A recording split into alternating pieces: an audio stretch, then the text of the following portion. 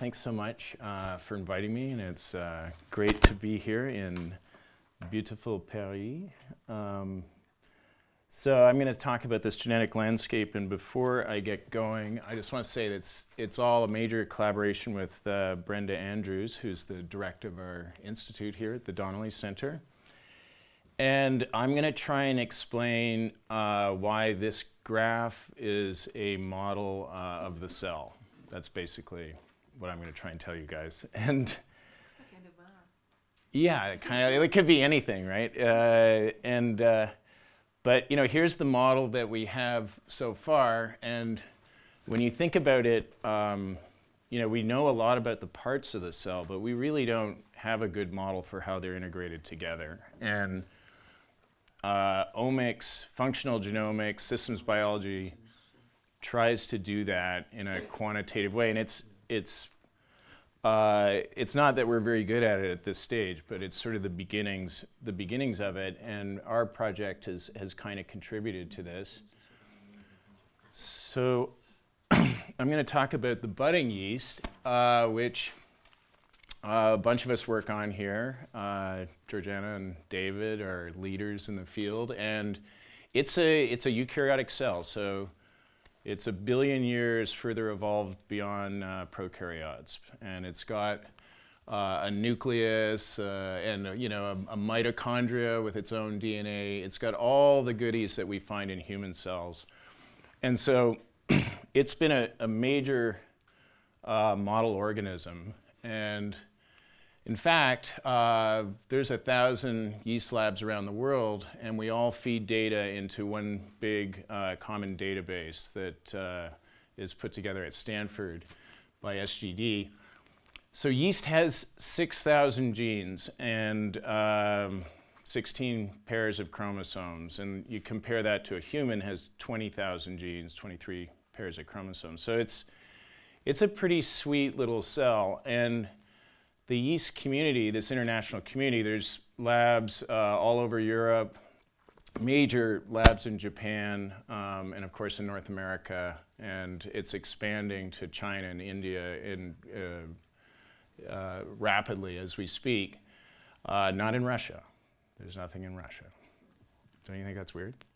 Uh, but uh, but anyway, uh, the goal is to figure out, and so we've got a graduate student, there's six graduate students in each lab, we've got a graduate student for every single yeast gene, right? And you'd think that we could figure out how this thing work, this cell works and we could model it, but uh, we're so far from it because it's because we have to figure out how they're all connected to one another and how they're talking to each other and the dynamics of it all. And uh, that is way beyond the, capa or, uh, uh, the capability of uh, the yeast community, but any community studying any form of life. But just to give you a, a view of that, here's 16, the 16 chromosomes, and each line represents a gene. So there's these genes are just lined up one after another on, on each chromosome. And one thing you can do with yeast, because it's so easy to manipulate um, this organism genetically, partly through homologous recombination, is we can go into a diploid, so it has two copies of every chromosome, a diploid organism, and delete one copy of each gene. And then the beauty of yeast is you can take it and convert it from a diploid to a haploid, uh, where it only has one copy of each chromosome. And you can, under those conditions, ask whether that gene is required for life. And so the yeast community did this, deleted each of the 6,000 genes one by one in a diploid, converted it to a haploid, and asked whether a gene was required for life. And uh, 1,000 of the 6,000 genes, when deleted individually, is required for life. 5,000, you delete them, and the cell basically barely knows it's happened. Okay? And this is true uh, not just in yeast, it's in true, true in all forms of life, basically, um, any sophisticated form. So in E. coli, uh, in yeast, in worms and flies and mice, and in human cells, uh, only a fraction of the genes are required for the basic cell division um, uh, and, and replication of chromosomes. Most of the genes are just are, are appear to be functionally redundant. okay, so that you can delete them and and they must be doing something because they're highly conserved, but uh, there, it looks like there's a backup plan for whatever the role of this is. So a nice example is DNA repair. So there's many pathways that control DNA repair, different pathways, and they're, they're required under particular conditions. But in a laboratory setting, you can remove non-homologous end joining and the cell's perfectly fine. It can repair its DNA through um, homologous recombination, for example. But if you remove both those pathways, homologous recombination, non-homologous end joining, then the, the cell has a problem. So we think uh, a lot of the, many of the reasons these cells aren't uh, required for viability is because this, the cell is wired with backup systems. And so that the analogy is it's like a, a, a finely tuned and jet engine where if something goes wrong, we've got another way to, to keep, keep the uh, plane up in the air. So, so I have a question. So uh, why, maybe it's philosophical in, in, some way, but why wouldn't the cell work on these 1,000 remaining essential genes and have backup? Uh, that's a, that's a good question. I, I've never, I can't figure that out except to say that, you know, it wants to streamline everything as, as much as possible. And then, but still, then why wouldn't there be a backup pathway for that thing? Um, yeah, and there, there's really only one proteasome. It doesn't make another copy of all those genes and, a, and another, I mean, there's other ways, autophagy and things to degrade proteins, but, you know, the major essential complexes are things like the ribosome, the proteasome, and the whatever.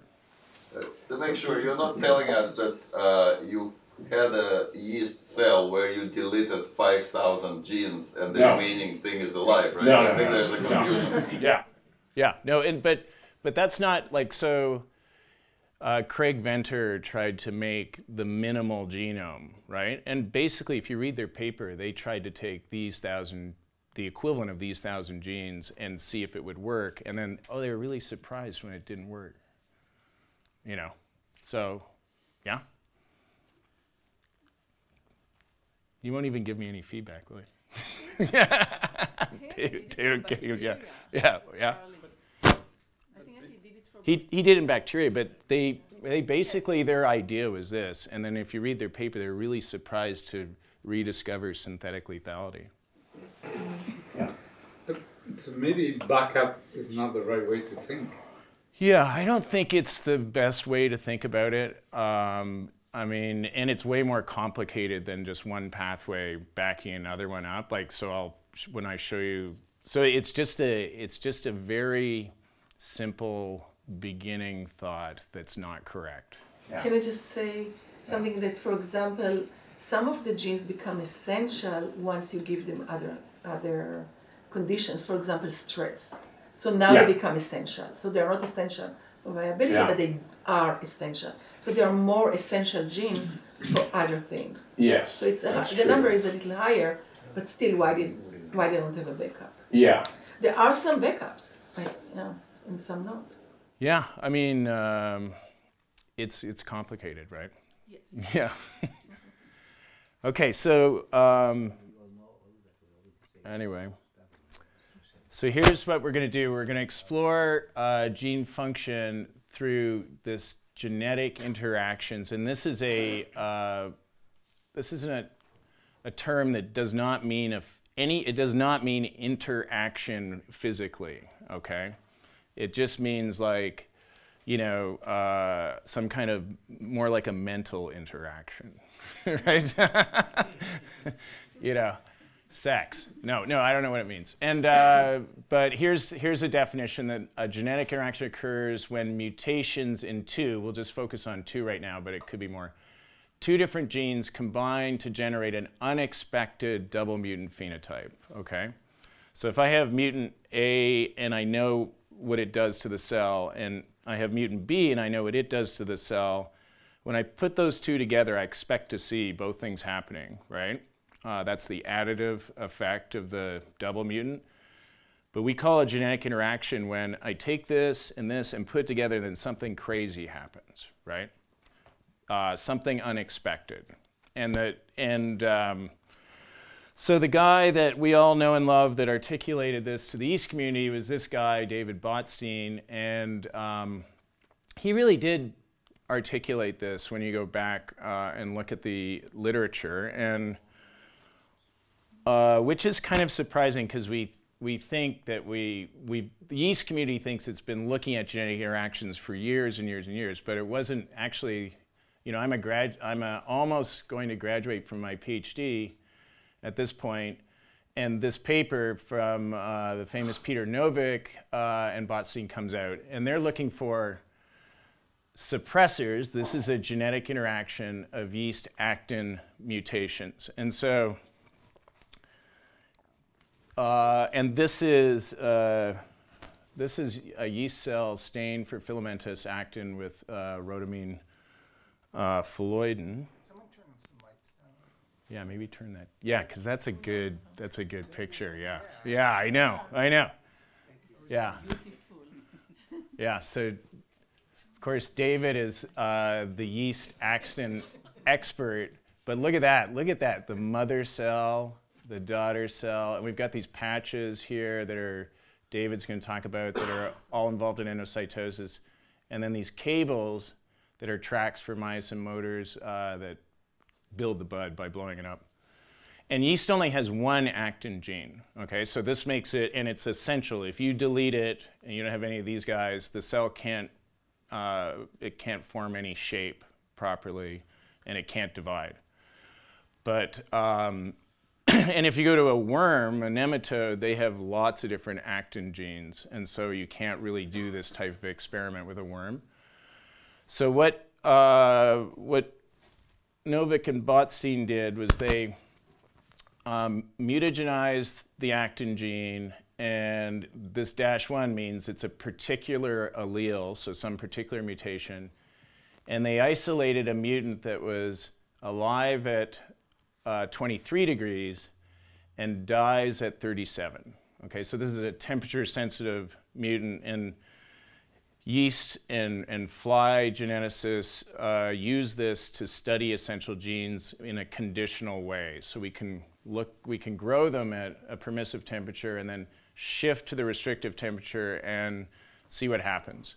Reveal the, the essential phenotype. And one way to think about it, it, but there's lots of different things that happen. The protein might not be made at the restrictive temperature, it might be degraded, but the, the classic idea is that you have uh, a mutation in the polypeptide chain that allows it to fold normally at the permissive temperature, but when you put energy into it, you miss, the protein misfolds and you reveal the mutant phenotype. And there are examples of that. So, um, so what they did was they looked for suppressors of actin mutants. And so what happens here is if you combine ACT1-1 and you, you, you basically select for a, a, random mutation in the genome that suppresses this temperature sensitivity and you, you identify a new gene that way. And so ACT1-1 plus this mutation, the cells are alive at the restrictive temperature. And we'll call this, a, this is an example of genetic suppression, and we'll call it a genetic interaction because it is an unusual phenotype. You go from dead to alive, right? You know, that's pretty powerful. And, uh, and since it's a, a gain of a phenotype, we'll call it a positive genetic interaction. But mechanisms, molecular mechanisms are known? Uh, yeah, so when they did this, it was completely unknown. They wouldn't even have known what this gene is. It turns out that it's involved in phosphatidylinositol signaling, which is a signaling pathway that can regulate actin dynamics through other proteins, but we probably still don't know the mechanism. Um, but there's some major functional connection between these two genes, okay? And it, uh, this is not that case, but I, like we've been studying some of this, but I'll just show you a, a phenotype. So here's NEO1, and it's a temperature sensitive mutant. So the mutant will grow at 22 degrees. It's, it's totally dead at, at 38. And now if I take that TS mutation and delete another non-essential gene, YMR010W, perfectly alive at the restrictive temperature. You know, it's, these are powerful uh, phenotypes. And in this case, I'll talk about later, Neo1's a flippase that flips phosphatidylserine ethanolamine from the outer leaflet to the inner leaflet. And this thing's probably a scramblase that antagonizes it. And if you just get rid of the antagonizing uh, enzyme, then there's, a, there's another backup flippase in there that can, that can take over. Anyway, that's the kind of phenotype. Um, so so we have this genetic interaction, and then here's the, here's the fun part. Um, here's another allele of actin, so a different mutation in the actin gene. And when you take that mutant actin and combine it with SAC1-6, the cells are dead uh, even at the permissive temperature. Okay? And um, again, I was kind of trying to look up the mutations. I don't think we understand any of this, right? We should be able to, we should look it up though and try and figure it out. Anyway, so this is an example of the, so this is a cool, this is a rescue positive genetic interaction. This is synthetic lethality, uh, which is a, a negative genetic interaction. So, um, and this is a very famous one that I'm going to talk uh, a lot about. Um, but this is unusual, like mutation, this is viable at 23 degrees. This one's perfectly viable at 23 degrees, but the double mutant is dead, okay? And this, this would say to us that these two genes are working together to control an essential function in the cell, right? And presumably that's actin assembly, and this thing's kind of, this mutation compromises the actin gene itself, and then this uh, mutation must, you know, exacerbate that somehow and have something to do with all the, the whole actin dynamics.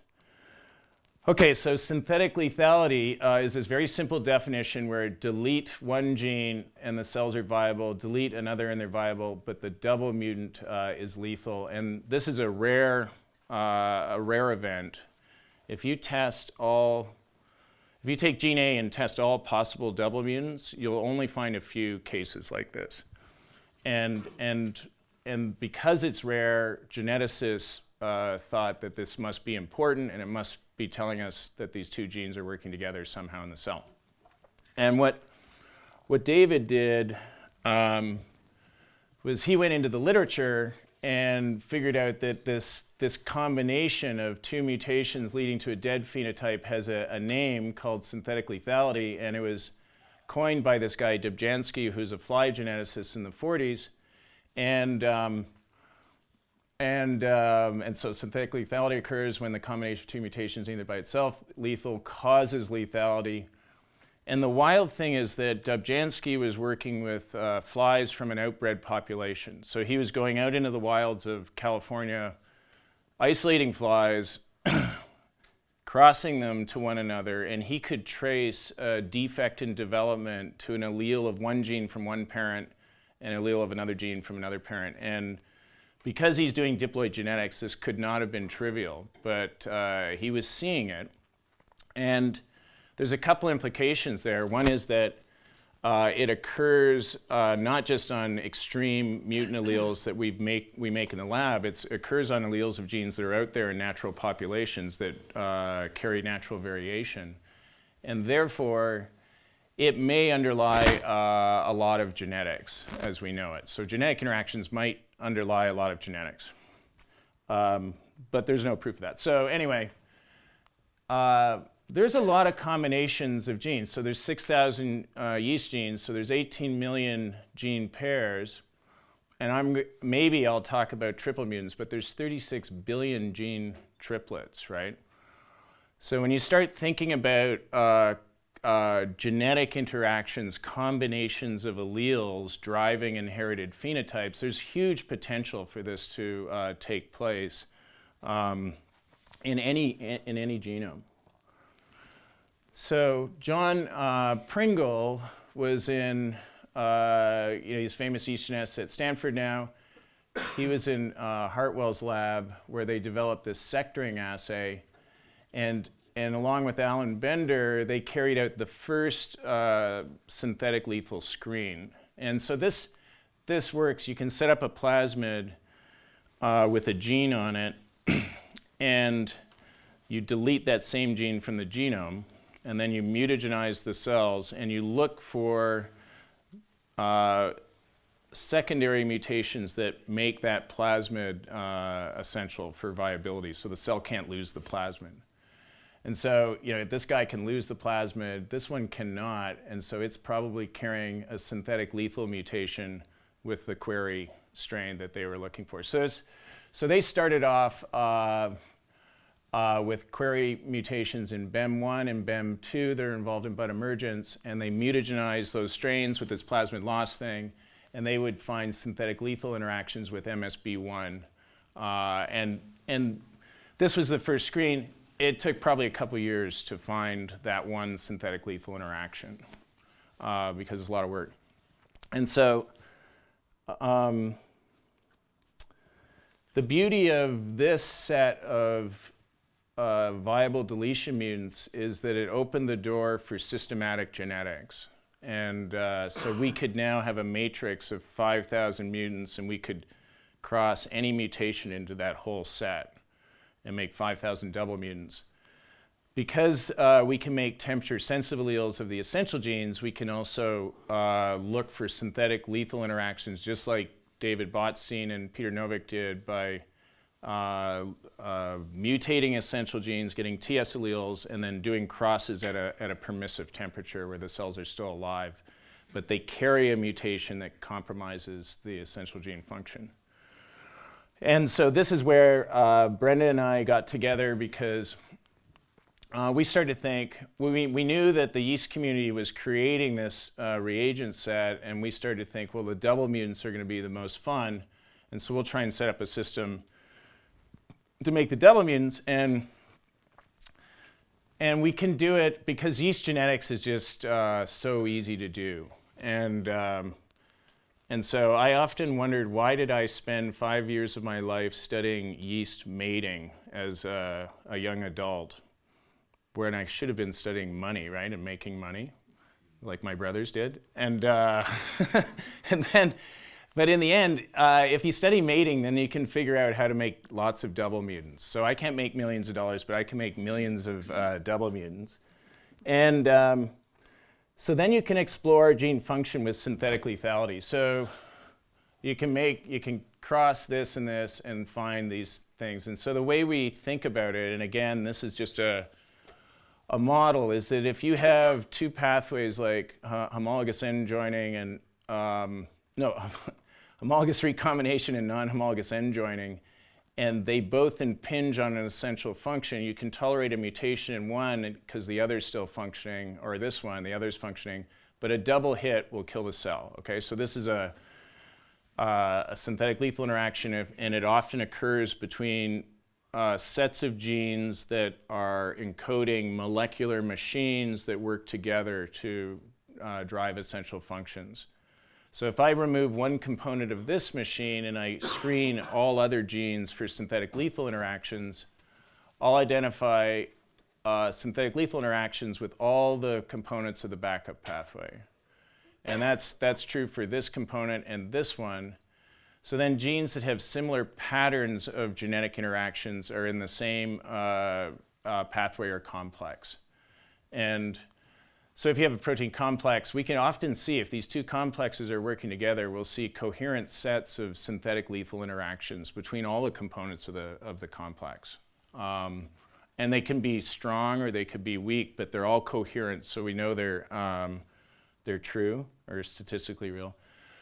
So uh, Lee Hartwell, who won the Nobel Prize for his uh, cell division cycle, he he was really interested in synthetic lethality, and he articulated these two concepts uh, in the in around 2000, so about 20 years ago. Um, one is that if you uh, have a cancer pathway that's in a it's a non-essential gene set, and you, you can then kill cancer cells specifically by targeting synthetic lethal interactions that um, take advantage of those vulnerabilities in, in the cancer cell, okay? And, uh, and that works like mad. Everybody's uh, going nuts with this now because when he talked about this, you couldn't do any kind of genetics in human cells, but With CRISPR, it's just so, uh, it's so ob painfully obvious that this can be done.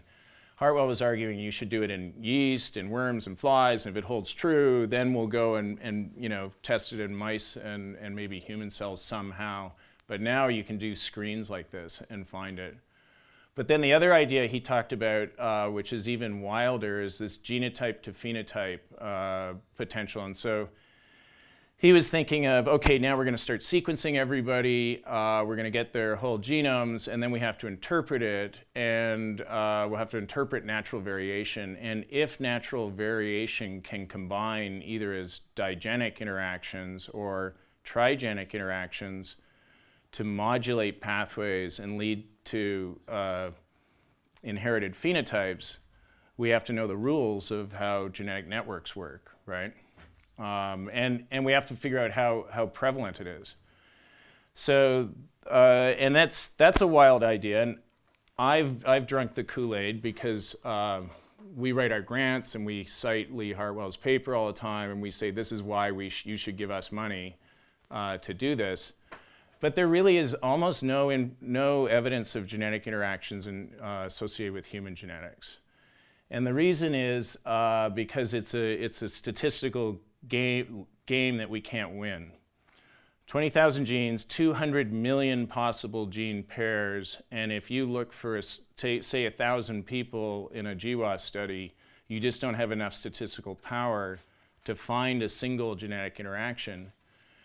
Uh, and even more than that, when you think, when you think that if, it's, if the genetic interactions are mapping, uh, say, two different pathways that impinge on you know, something that's important for uh, disease state, then there's many different pairs of genes that will lead to the same phenotype. So you're trying to find multiple different pairs of genes that are associated with a, a disease state, right? And so that, that's another thing. And, and, and uh, Eric Lander, so there's this missing heritability for any, any human disease, and this is where I don't know what I'm talking about very much except for what I'm saying. Uh, so bear with me on that. But if you have, for any disease you look at it, usually we only can explain about 20 to 30% of the heritability. A, lot of it's missing. And you know, there's many different thoughts about this, uh, that it could be rare mutations, blah, blah, blah. You know, we just don't know what's going on. But it's quite possible, and, and it looks from yeast models that uh, definitely genetic interactions are going to be some significant component of that.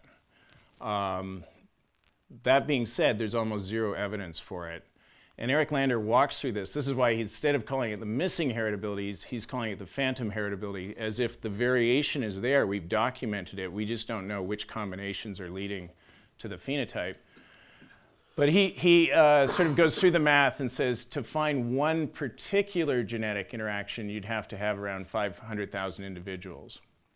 So someday we'll have that when our sequences are on our phone and all our records are being monitored by Google or something. But, um, but there's, there's other ways maybe to get at this. And uh, our collaborator, Chad Myers, has, a, has a, some ideas. And I'll, if I get to that, um, we can talk about it. But uh, so anyway, we started, based on Hartwell's suggestion, um, basically, and just the, the pure uh, you know, fun of it, we decided to try and make all possible double mutants in yeast. Yeah. Thank you. Thank you. Um, I'm definitely going to skip some things, but yeah. and so, but I can go to the highlights. Anyway, we, we, we really, uh, Amy Tong was a graduate student who started this. She's not on this picture, but then Michael Costanzo took it over. We have a team of technicians and they feed uh, these locally designed machines uh, to just make all the double mutants. So we can just replica plate and it works. the computational analysis is, is the tricky part, and Chad Myers was in Olga Troyanskaya's lab at Princeton, um, and he has a team of uh, postdocs, graduate students. Anastasia uh, was a graduate student in, with Brenda and I, uh, and she's now at Calico. And these guys really formed a team. And it's, it's very simple. Um, uh, our model for you know, how to score a genetic interaction. If you delete a gene and you reduce the growth rate, but you don't kill the cell by a defined amount, so that's, this one reduces it to 0.7, delete this gene, reduce it to 0.5. If I delete this gene in this background, I expect to see a reduction of fitness by 0.5. Okay, that's our, that's our working model. So we, the, the uh, fitness of the double mutant, the combination of the two single mutants we expect to lead to a phenotype of 0.35. So synthetic lethality, if the double mutant is dead, then that's a negative genetic interaction. But if the double mutant grows better than uh, we'd expect, that we call that a positive genetic interaction. So we quantify negative and positive genetic interactions. And we, we do it just by looking at colony size on a plate and there's all kinds of systematic errors that we, we go from noisy data to data where we, we normalize, where we, you know, um, normalize all this stuff out and get at the true genetic interactions. Um, so then basically what we get is a vector of negative and positive genetic interactions. So I delete gene A, and if it shows a positive genetic interaction with B or with C, and then negative for these other guys, I, we score it and we quantify it. And uh, we do that for, we cross gene A to all 6,000 other uh, mutants, and, and then uh, just, just score these things. And you get basically, you know, here's an example. So RAD52 is involved in DNA repair, and we get negative interactions with all these other genes that are very, have very well-defined roles in DNA synthesis and repair. So you, you connect, in general, functionally related genes. I mean, there's noise in the data, and if the gene is a signaling molecule that controls many different pathways, then you connect that that signaling molecule to many different pathways. But if you're a focused uh, player in the cell, then you, you end up uh, connecting it to other focused players in the cell. And so genes, genes that are in the same pathway have very similar genetic interaction profiles. Okay, so that's it's easy for us to define functional modules because we just cluster the genetic interaction profiles and if we have two pathways that are uh, backing each other up, then we'll see that they share synthetic lethal interactions and that it's a coherent set. All the components of each pathway will, you know, most of them. Uh, there's always some false positives and false negatives in our noisy data, but we'll see lots of connections more than you expect by chance. I've drawn uh, positive interactions between these components because if it's a non-essential pathway, that's what we see. And, and that's, this is just because of our model. Um, uh, basically, if you, if you have a non-essential pathway, you kill the pathway if you delete a component, and then the double mutant looks just like the single mutant, okay? So the double mutant look just like the single mutant, not like what we expect. And so we score that as a positive genetic interaction, just simply uh, part of our model. But um, if it's an essential pathway, you can have you can have two essential pathways backing each other up. If you combine two TS mutants in the same pathway, you often the, the cells often die. So you see negative within and negative between. So we look for these types of uh, network motifs, and I'll come back to that. But in order to create that, that graph I showed you at the beginning uh, of the talk, the thing that I was referring to as the model of the cell, what we do is we just measure the Pearson correlation coefficient of the similarity between two genetic interaction profiles. So A and B, Pierce, they're you know, very similar, Pearson correlation of 0.8, so we connect them by a short, uh, a short edge. So all these guys are connected by short edges. These ones are all very similar to one another. They're connected by short edges. And there's some similarity here, so we put a, a longer edge like that. Okay, so we just, basically we create a graph where if a gene has a very similar profile to another one, it's, it's close. And if it's, you know, more distance further away. And, and because genetic interaction profiles are a quantitative measure of gene function, we're basically just sorting all the genes in the cell out based uh, on their functional similarity, which we've measured through this genetic interaction profile. And um, so that's what creates this uh, map. And over 15 years, we, we put it together. So we started mapping here, and we started quantifying stuff here. So that's why we now have positive and negative. At first, we were just sort of looking at the cells and saying, oh, that looks bad. And um, in the end, we map half a million negative interactions and slightly less positive interactions uh, when we test uh, a bunch of different uh, gene pairs, many of which we tested uh, twice. And then you create these three maps where we have non-essential network. The essential genes are very rich in genetic interactions. So temperature sensitive mutants are on the edge of dying and you can give it another hit and it'll, you'll push it over the edge. The, um, but the, and so you see lots of interactions with them, it, but again, they, they sort of are often functionally coherent. And so you're, you're talking about genes and this, they interact with genes in the same uh, sort of uh, essential, essential roles in the cell. And we can put it together to create this uh, global network. And you can see, you can see there's clusters of genes that have similar genetic interaction profiles. And these are major, there's hundreds of genes in there. And so we would think, we think these are the uh, defining bioprocesses, the fundamental bioprocesses, set of bioprocesses in the cell. And Anastasia came up with a nice um, way of, of looking at this. So she'll take a node and then she'll go at a certain distance around the node and she'll identify a set of genes and then she'll see if they're enriched for annotations, this uh, gene ontology annotations.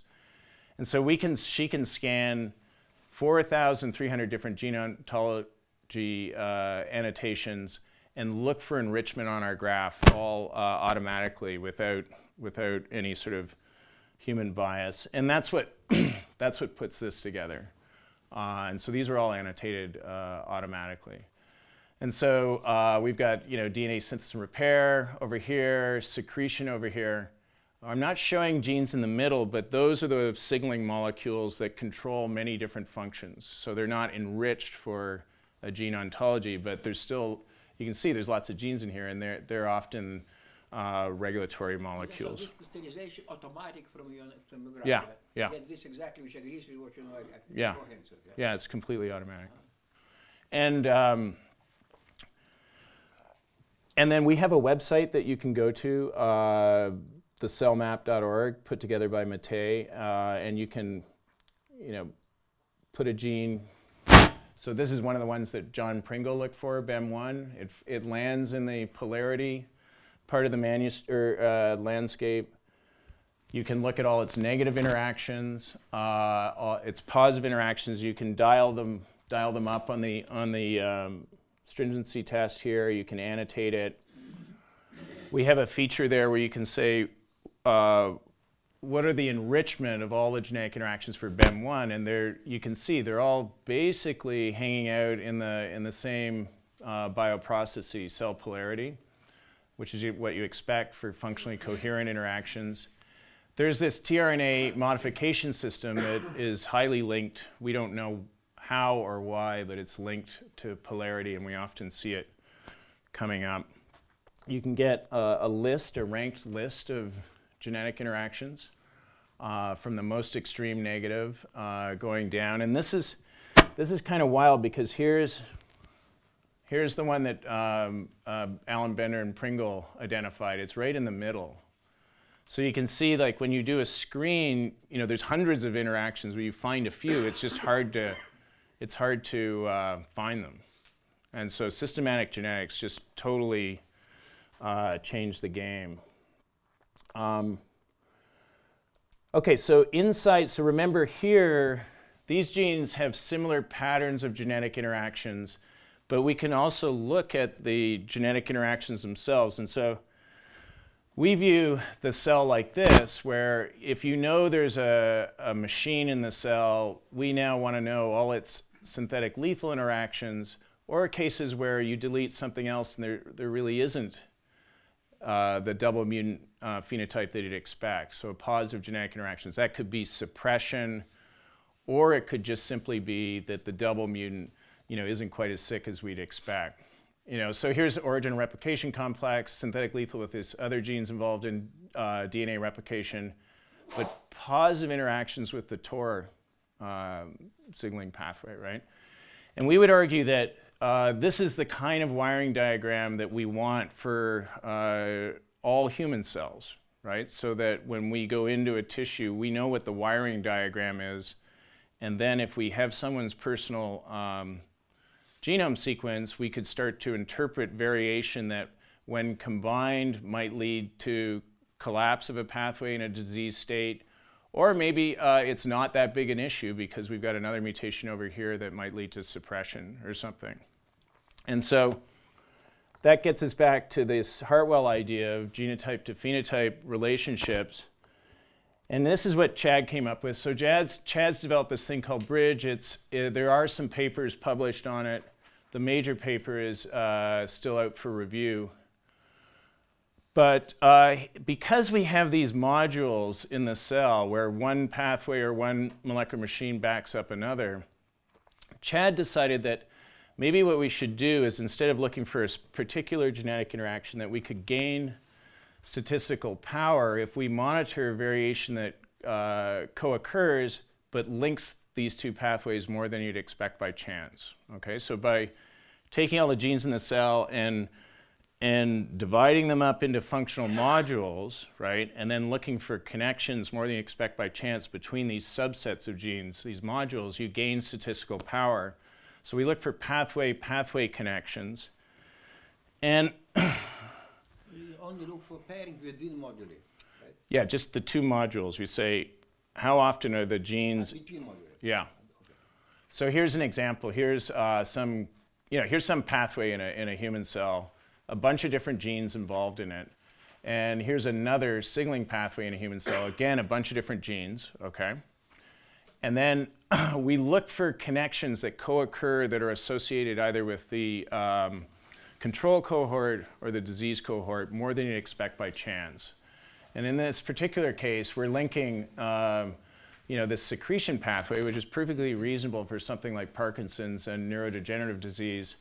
We only expect 1,500 interactions, but we see on the, on, on the order of 2,200, 2,300 interactions. So that's the data that uh, we're starting to get. And, and uh, it's not, you know, you have to validate it. Uh, no one believes it. Um, it's, it's basically a nightmare. But uh, from, our from our fantasy world, we're uncovering the genetic wiring diagram of humans using human, human um, you know, genome sequences. And, um, and so, you know, maybe this is true, right? Uh, but we have to, we have to, and but no one will give us money to do it. Uh, so we could be on the edge of uncovering something awesome about human genetics that nobody knows, and nobody will give us any money to do that. Again, you said, uh, how you do the basic sequences? Just on the basic sequences you find this interaction again, what's the idea again? Uh, the idea is that, okay, say you have Parkinson's. Yeah. Uh, I mean, I hope I can. Oh no, what am I doing here? Oh, no, I'm going for it. Okay, sick. Yeah.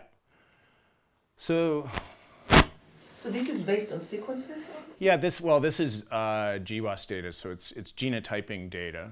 Uh, it's not, but it could be whole genome sequence. It- you know, all you have to do is map uh, variation. Yeah, the GWAS is a little bit trickier because you don't know if you're right on the gene. But there's, there's uh, variation here and variation here. And so that's an interaction, right? And, and you have to have null hypothesis models and You compare healthy individual and yeah, yeah. Okay. And then you look for covariation that is, is associated with either the healthy, But how systematic are those, yeah, for Parkinson? You might grab systematic, the same pairs of variations, yeah? yeah, you, well, I mean, we're connecting these pathways more than you expect by chance, and you try and go into two different independent disease cohorts, and if you see it replicate, maybe that's, that's true. Um, Do you know that there are three studies on synthetic interaction in you, using CRISPR in human cells? yeah, there's, yeah. Yeah, so you could use them. Yeah, I mean, I don't know what, what human cell is the best model for Parkinson's, but uh, yes, that's what we need to do. We need to get into a system where we can find it in, in uh, human genetic data and then validate it in, a, in some kind of model. that's what we need to do to convince someone to give us money to do this. But anyway, I want to get back to this modeling the human cell stuff, and so I've probably got 10 minutes. But you can take this and take the best genes and make a hierarchical uh, cluster. And then we can look at the clusters at various levels in the hierarchy. And if you go down to the, the most refined sets of clusters, you can barely see them here, they're so refined. These are all these complexes and pathways that are identified um, using genetics and protein-protein interactions. If you go up to here to these larger clusters, now, these are these bioprocesses in the cell. And then we'd always look at this and realize that, you know, all the secretion guys are together and all the stuff in the nucleus together. These larger clusters that you see in the hierarchy, they're the uh, compartments in the cell. So uh, you know, the wild thing here is we've just measured single mutant fitness and double mutant fitness, and then we draw this graph, and it basically reveals complexes and pathways, bioprocesses, and, and compartments um, uh, simply from its, its layout. So then once you have that model, we like, we like to view the cell or the, the graph like this, where you have these big bioprocesses. So we can say, where do genetic interactions occur? Do they occur within a a complex or pathway. Between uh, complexes or pathway in the same bioprocess, between those in, in different bioprocesses but within the same compartment, or are they, are they distant? And it, we get different answers for negative and positive genetic interactions. So the negative interactions are often associated with fun um, functional specificity uh, in that they occur you know, in the same bioprocess or between processes in the same compartment, the positive interactions are often distant. And in our SGA, the positive interactions we, we measure are, are not super strong. They're not suppression in general. They're mostly regulatory things. So a lot of them have to do with cell cycle regulation and proteostasis. Um, and the reason we're not looking at suppression is because we're, we're just starting with loss of function mutations. We're not looking for suppress, special suppressor alleles like, like uh, David Botstein and Peter Novick. Do you do all these under one condition? All the yeah.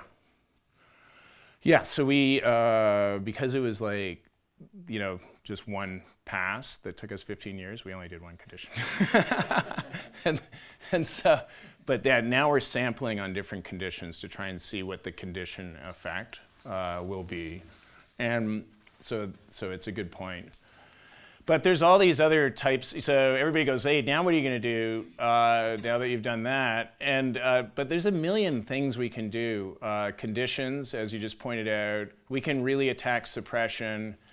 Uh, this is something that uh, David's interested in. He did the first complex haploinsufficiency screen, and we are doing that, and it's a total nightmare. I'll have to tell you about it. Yeah, and so, but uh, then there's this higher order interaction stuff, and so i am I'm just going to quickly go just so you can see it. Jolanda uh, published this paper with Fritz and I and, and Brenda, where she did a, a, literature curation of all the yeast suppression interactions. Um, and then we also mapped uh, several hundred new suppression interactions that were just made uh, when we were, when we were you know, doing all this other stuff. And from that, she can put together a network and show you how powerful it is, because now you have direction, like mutation here is suppressed by a mutation over there. And uh, she just got a job in Lausanne, so we're very proud of her. Um, and suppression guys, though, are real severe versions of the positives that we score by SGA. And the point is that, uh, you know, you've got a sick individual, but if you, some people walk around uh, and they carry severe disease mutations, but they're perfectly healthy, okay? And uh, so we want, everybody wants to figure this out. And, and the hope is that when you figure out the genetic mechanism that you can develop a drug. And there's this cool paper by Steve Friend where they actually looked at uh, this, uh, this situation. They can find all kinds of uh, people walking around that carry severe um, genetic disorders. Um, okay, so this all makes sense. Suppression, suppression interactions are more functionally related than the stuff we score by SGA. Uh, there's no point in going through all this stuff. Okay, here's the one we should, we should go through. Um, okay, so once we have, we, have, we have a system now where we can clone temperature sensitive alleles of all the essential genes onto a plasmid. We can put them into a diploid that's deleted for the gene that's on the plasmid. We can convert that to a haploid where the, the essential gene is deleted, but it's, the cells are alive because they have the TS allele on a plasmid we can shift this strain to the uh, restrictive temperature, find an extragenic suppressor, and then we can ask, can we kick out the plasmid? So can the suppressor actually bypass the deletion allele? And how many essential yeast genes in yeast can we delete and, and actually bypass with a suppressor? And so this, uh, I like this one because I could bet uh, my colleague, Fritz Roth, yeah, head to head, tete a tete, moi versus uh, Dr. Fritz Roth, right? Yeah, head to head. So what did I bet Fritz, and Fritz is one of these guys that if you just lay a number out there, he'll go, eh, I don't think so, right? You know, he's a contrarian. Uh, so I, I laid out a number, 15%, and he goes, no way, no way, all right? I think I bet him a bottle of wine. Yeah, yeah, it wasn't. But because, you know, when someone does that, you start to second guess yourself. and so Jolanda did this a, as a collaborative project with Fritz. So she, uh, we've got a, you know, a thousand TS alleles covering, you know, a lot of the essential genes. She gets a bunch of suppressors, so, and we're sequencing all these things now. And in the end, uh, she could bypass 124 uh, genes. Eight, and, eight minutes left. and so guess who wins the bet? yeah, that's what we're talking. Right, right. And uh, so that was fun. Um, and the reason I made that bet was because uh, the essential gene set is the same in Cerevisiae as, as it is in Pombe, almost identical, even though they are hundreds of millions of years divergent, um, and except for 15%. So there's 15% uh, of the essential genes are different, and and we can see that that in fact uh, it's it's that set that uh, is non-essential in in Pombe that um, can be suppressed largely in, in Cerevisiae. So, so it kind of all uh, fits. All right, so the last thing I'm just going to say is Elena has been looking at trigenic interactions, and it's the same game. Uh, but we took quantitative features of the digenic network uh, to pick double mutant queries. So they either had high, high degree or low degree uh, they either had very similar profiles or weak profiles, which is a measure of functional similarity. They either, the queries either showed a negative genetic interaction, a low one or a high one. And again, the, the genes in, in the same pathway, um, uh, if it's an essential pathway, often have uh, a strong genetic interaction. Anyway, so she can map trigenic interactions, and they have the same properties as digenic interactions. They occur amongst genes in the same bioprocess. And I'll show you an example of one.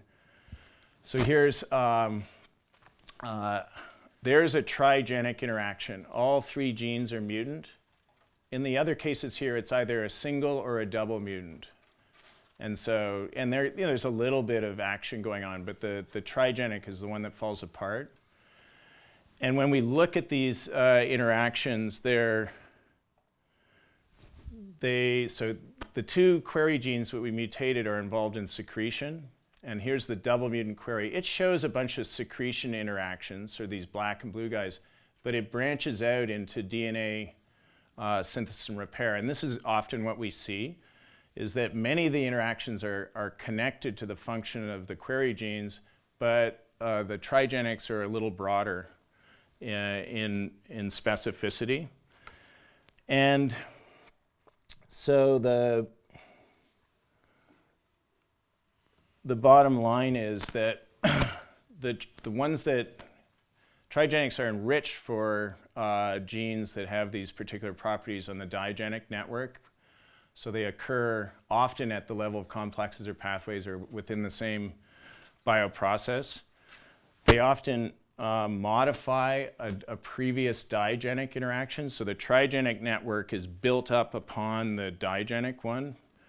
Uh, but the, the amazing thing is that uh, while there's half a million digenic interactions, there's 100 million trigenic interactions um, in a yeast cell that we can predict. So, so that when you get in the bioprocess there, if they don't show a digenic interaction, you can start combining two or three things and you, you cause enough havoc in that bioprocess that you, you create this unexpected phenotype. And so we think that you know, understanding the bioprocesses of human cells and then looking at variation you know, uh, in genes in the same bioprocess might allow us to start looking at inherited phenotypes. And so with that, uh, I will just stop and then maybe ask, have one, one question or something. Okay. Thank you. Questions? Do you, how often you, is aneuploidy a problem? I mean, do you see aneuploidy coming up as a, as a way? Yeah. Yes, a, a, lot. You see aneuploidy a lot in, in suppression. And there's, of course, there's a fitness cost with aneuploidy. Cells don't, don't like that. But when you go from a, a really sick cell, you can you can suppress it with aneuploidy. And how stable is the aneuploidy? Uh, that's a, I don't think we've looked at that, but by the time we get it and sequence it, you know, it should be pretty, pretty stable. Uh, but we've never tried to evolve beyond that. But yeah, you see, it, it definitely comes up all the time. And we'll see, we even have this one case where the genome well, it's with the signal recognition particle. So you can take all the components of the signal recognition particle and you can delete them and bypass it. So there's some other way to live without it. And the way the cells do that is they duplicate the genome and then they lose a chromost one chromosome. So is there a way to estimate how often you would miss interactions? Um, yeah, so there, like definitely with suppression, because we look for suppressors more than once, you can draw a graph and figure out whether you're saturated or not. Um, we do have an estimate of the false positive, false negative rate, which is surprisingly high, and we bury that in the supplementary data, but it's around 30% for both of them, 30 or 40%. Um, and I'm sure we could do a better job at it now if we looked at it more carefully, but that's about how often we miss interactions. So, Okay. so you, you look at, So, so oh, we sorry. have three, yes, Sorry, no more than three. Quick questions. One here, then up, Okay. and then we have two more. So Botstein likes to say that the allele-specific suppressors would tend to be the specific ones. I'm, I'm wondering, do you think in general the bypass suppressors tend to be less specific? For example, I know in bacteria that if you have a secretory defect, a mutation that will slow the growth of the cell will suppress that, and you and you wouldn't tend to argue that that's really Right. specific, that you found a specific pathway. Uh, they're, no, they're, I mean, most of the bypass guys are pretty specific. And partly because I don't think this, we're picking up weak suppressors. We've selected for pretty strong suppressors. But yeah, I don't, I'll, I'll dig it out. But yeah, Jolanda's done all that analysis and in general, they're really, they are very specific. Yeah. I know, it's just like that other thing we were talking about today on the train with the dots. He doesn't believe me, does he? So one side is that of your analysis is the growth rate and less growth or more.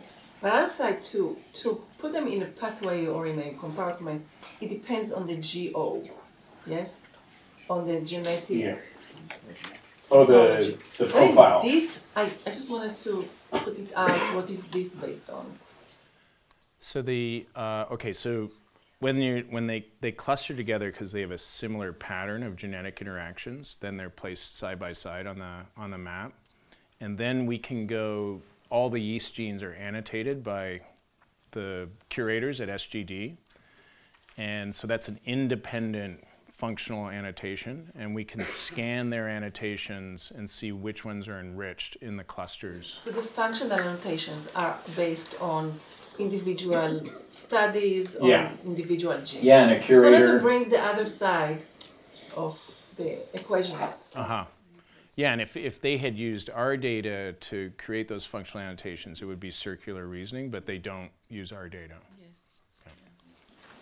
Uh, so um, you said 15 years of uh, experiments with one condition. You said Yeah. you started to evaluate how things would regroup and rewire if you Yeah. change conditions. Can you comment on that?